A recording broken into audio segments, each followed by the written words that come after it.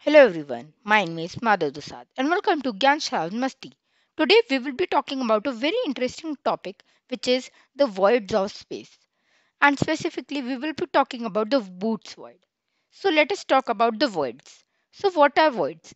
So void is a space in the uh, in the space only outer space which is entirely empty or very less populated and less denser.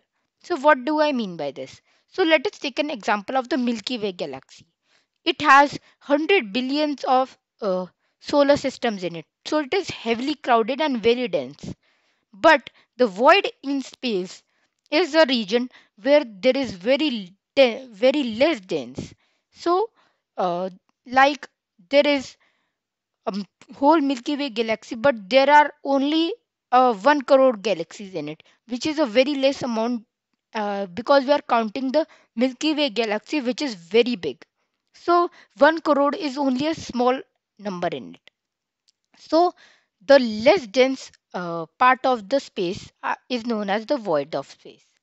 So now we will talk about the Boötes void. It was found by Robert Kirshner and it is a very big void and only 60 voids are found in the space and this accounts and this void accounts 0.27% of the universe. So you can see how big it is. And it is uh, 300 light years big. But only a few uh, galaxies are found in this. And there are very less galaxies in it. So we can say that this Boötes void is uh, very less crowded. So hope you like this video. If you liked it please like the video and please subscribe to the channel also. Bye.